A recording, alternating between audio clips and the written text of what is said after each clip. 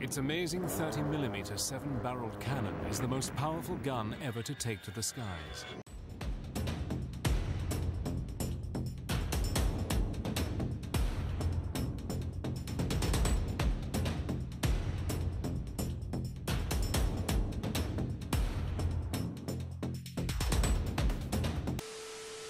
What's going on guys? So recently I've been doing a lot of ground pounding with CAS aircraft in War Thunder just for this event because it's the easiest way to get score. And it kind of made me think about the A-10 and if it should be added to War Thunder or not. So this is kind of a discussion video. I want to talk about the A-10 and if you guys think it should be added to War Thunder. I would personally love it, don't get me wrong. Uh, it's such a beautiful aircraft. It has such a you know, when I was growing up, it was that aircraft. That and the F 16 were those aircraft for me. I think it just looks so badass how they painted the mouth on it. That 30 millimeter Gau cannon would just fucking destroy tanks. Uh, it could carry so much ordnance and make it back to base safe, which is something that is a little different for War Thunder. Not many of the planes that are in the game are technically super durable. I mean, the Duck, I guess you could say, is a pretty durable plane. Uh, it was kind of like a World War II A-10 with its philosophy, right? Uh, but the A-10 could lose a tail section and still make it back to base in certain circumstances. So I wonder if they do add it, let's just say, would they make it super durable? And also, how effective would the cannon be against the tanks that we have in game now?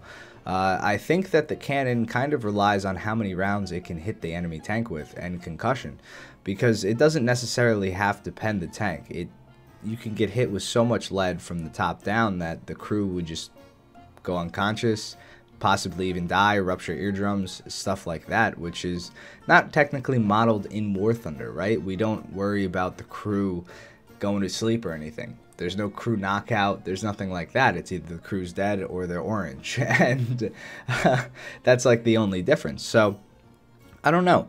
I think that for what we have in game now, something like the T2, right, would be really, really good at countering an A10. I don't think the A10 would be that good in the skies. It's decently fast plane, surprisingly enough. Like, it's not slow. Uh, it's just slow by modern standards. And also, that gun would be really fun to mess around with against planes, I think. So that's just something that, you know, would be cool. I'm not going to lie. And we don't have any planes. Uh, what I was trying to say earlier is we don't have any planes that are jet aircraft designated to the ground ground attack role uh, that are super modern yet. You, you know, we don't have anything as modern as the T2 that was completely designed to attack the ground. The A10 is in that category. It's also with the Frogfoot, uh, something like the same thing as the Frogfoot, the Su-25. I wouldn't mind if they added that either if the A10 was going to be added. Uh, do I want them in game? Yes. I want both of them, to tell you the truth, the Su-25 and the A10. But we need some more stuff, I think, first, before they come. Uh, and I hope you guys agree with me on that. But I'm curious about what you guys think about the A10. It can carry a ton of different ordnance, too, not just uh, bombs. I mean, it can carry bombs. It can carry missiles, some type of guided missiles. It has the gun, obviously uh, cluster bombs, a ton of different things. I mean, it is super versatile when it comes to what the that tank actually or that plane actually carries to destroy tanks, uh, bunker busters and whatnot. So it'd definitely be interesting to see what Gaijin would pick as you know the actual ordnance loadout. Would it go with an earlier model where it can only carry dummy bombs? I mean, I guess it could carry dummy bombs, and I wouldn't have an issue if they weren't all lock on. Um, I have no idea if it can carry AAMs, but if it could, that would be pretty cool if it had AAMs and bombs as a loadout. Uh, the armor piercing, I believe, on those Gau cannons don't pen more than like 150 millimeters. Um, I could be wrong. I'm speaking a little out of school. I'm sure somebody in the comment section will know exactly how much the Gau pens, but they can type that and you can check that down there. I think it'll be enough to kill most tanks in the game but also things like the Tunguska kind of make a plane like that useless. So it'll be really interesting. I think SEAD is something that needs to be added to the game too, uh, within the future of War Thunder. I want SEAD and I want Radar to be more refined, I think. Because currently, if you're in a helicopter and there's a Tunguska, you stand zero chance, uh, regardless of if you use the tree tops and the tree canopies as cover, uh, if you try to go below the ground and whatnot, you still get picked up by radar and you're still going to die in one missile hit. So I wish there was more things to combat the Tunguska. I wish more nations got a vehicle like the Tunguska. Um, I think the next patch has to really push the envelope in terms of equalizing the game because currently it's in a, a pretty shit spot at top tier, I think, and it's not really that fun. Uh, there's just a lot of stuff that doesn't have counters, and it's not fun to fight against things that don't have counters, uh, especially the Tunguska.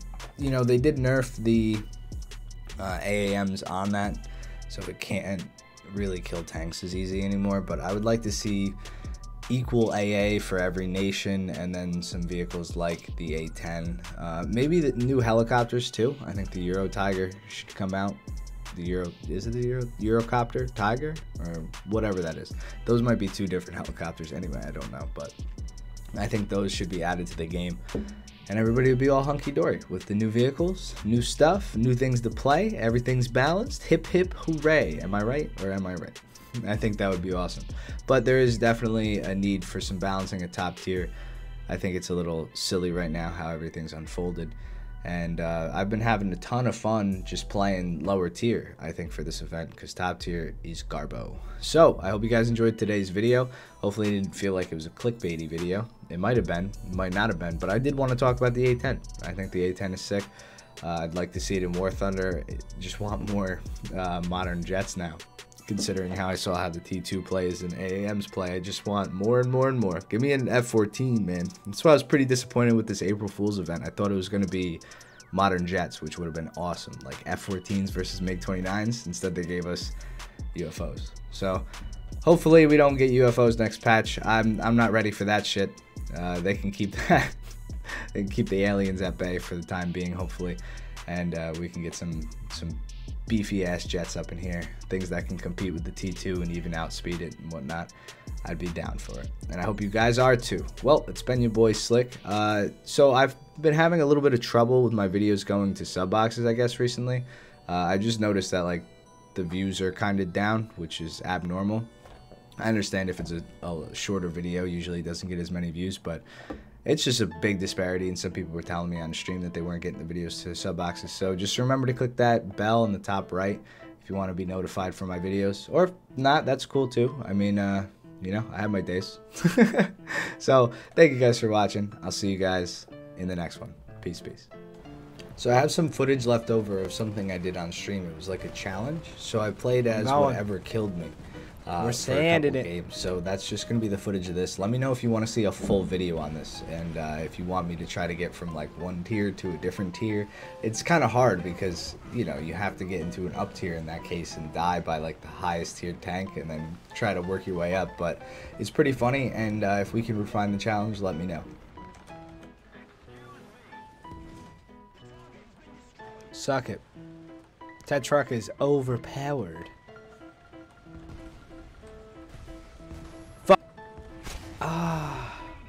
Do I really not have FP? No. Say it ain't so. I got the horses in the back. oh, I'm happy that thing didn't kill me on stream. I don't know how to fill the void. The sadness void. That thing's disgusting. That guy just doesn't give a shit. Oh, there he goes. He noticed. Oh my god, he cared so little.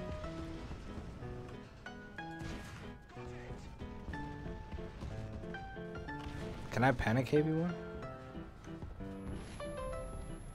Whoa!